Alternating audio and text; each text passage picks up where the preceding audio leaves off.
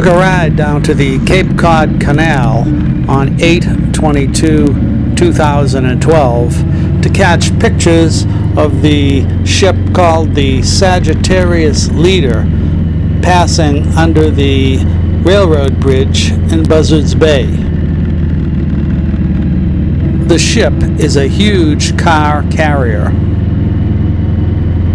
The vessel's details are as follows. Ship type, vehicle carrier. Year built, 2005. Length and breadth, 200 meters by 32 meters. Gross tonnage, 61,804 tons. Dead weight, 20,098 tons. Average speed, 16.8 miles per hour or 15.5 knots. Flag of origin, Panama.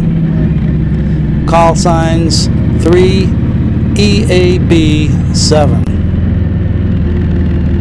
At the uh, time of the uh, voyage, the uh, ship's draft was 9 meters.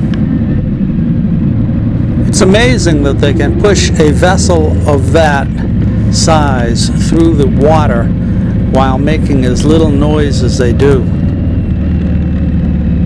Well, that's our video for today. If you like the videos on this channel, you might want to subscribe. That way you'll be receiving notification when uh, new videos are put up. In the meantime, keep the rubber side down, stay safe out there. As you know, there's danger everywhere. And remember, I'll be back. The music is the Panamanian national anthem played by the U.S. Navy Band.